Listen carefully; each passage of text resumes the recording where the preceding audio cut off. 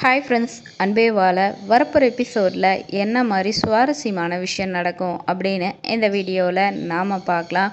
Bhumika challenge பண்ண மாதிரி நீ எதில் மாட்டியோ அதில் வசமாக சிக்குவ அப்படின்னு சொல்லி சொல்லியிருந்தாங்க. ஸோ அதுக்கான வாய் பூமிகாவுக்கு அமைஞ்சிருச்சு அப்படின்னு நீங்கள் நினச்சிங்கன்னா நம்ம வீடியோக்கு ஒரு லைக் பண்ணிக்கோங்க. ஸோ பூமிகா வருண் எங்கே இருக்கான்னு தெரியல. அது மட்டும் இல்லாமல் வருண் தான் மேலே கோவத்தில் இருக்காரு அப்படின்ற ரொம்ப டிஸ்டர்பன்ஸாக ரொம்ப ஃபீல் பண்ணிகிட்டு இருக்காங்க. ஆனால் வருணை கண்டுபிடிக்கணும். வருண் எந்த தப்பும் பண்ணலன்னு நிரூபிக்கணும்.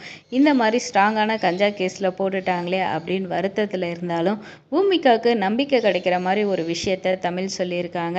ஸோ ஆறுமுக ஐயா மறுபடி தன்னோட ஆட்டத்தை ஆரம்பிச்சிட்டாரு. இந்த தடவை நம்ம சும்மா விடக்கூடாது மேடம் அப்படின்றப்ப கீதான்ற ஒரு பொண்ணை வச்சு விளையாட ஆரம்பிச்சிட்டாருன்னு கேட்டோன்னே பூமிகாவுக்கு இன்னும் கோபம் அதிகமாகுது ஏற்கனவே கவிதா விஷயத்தையே நம்மளால் ப்ரூவ் பண்ண முடியல.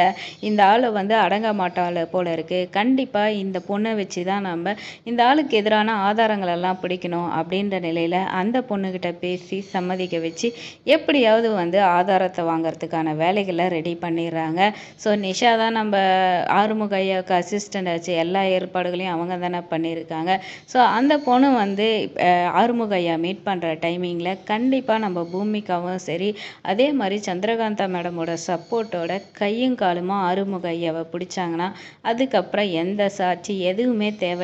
அவரோட கெஸ்ட் ஹவுஸில் ஒரு காலேஜ் பொண்ணு அதுவும் அவர் காலேஜ் பொண்ணு இருக்குது அப்படின்ற நிலையில் வந்து ஆதாரம் வீடியோ ஆதாரம் இதெல்லாம் இருக்கிறப்பயே இதுக்கு மேலே அவர் ஒன்றும் பண்ண முடியாது. ஸோ இத்தனை நாள் வந்து அவர் காலேஜ் லைஃப்பில் சின்ன பொண்ணுங்க வாழ்க்கையில் விளையாண்டு கவிதா லைஃப்பையும் இந்த மாதிரி பாழாக்குன கண்டிப்பாக ஆறுமுகத்தை நம்ம சந்திரகாந்தா மேடம் தர தரன்னு இழுத்துட்டு போவாங்க. ஸோ பூமிகா சொன்ன மாதிரி உன்னை எல்லாத்தையும் அழித்து நடுத்தருவில் நிறுத்தி காட்டுறேன் அப்படின்ற நிலையில் சொன்னாங்க.